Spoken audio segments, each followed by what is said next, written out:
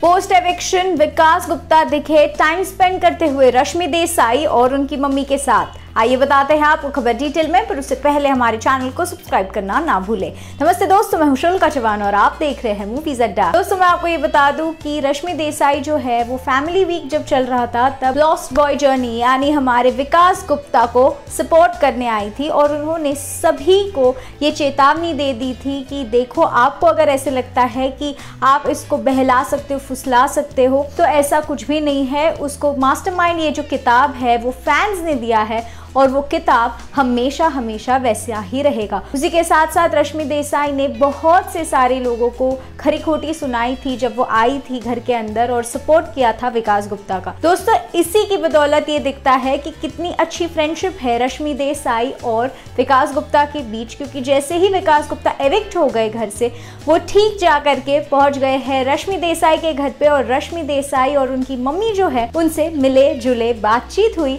और उन्होंने कई सारे फ़ोटो सोशल मीडिया पर शेयर करके ये डाला है कि अनकंडीशनल लव जी दोस्तों तो वाकई ये बॉन्ड जो है वो एक अनकंडीशनल फ्रेंडशिप और अनकंडीशनल लव का था और बहुत ही प्यारी प्यारी तस्वीरें हैं। अगर आपने देखी नहीं है तो देखिए और बताइए कि आपको इन दोनों के बॉन्ड के बारे में, यानी रश्मि और विकास के दोस्ती के बारे में क्या कहना है? In the comments below we are waiting to hear you मैं हुशुल का जवान और आप देख रहे हैं मूवीज़ अड्डा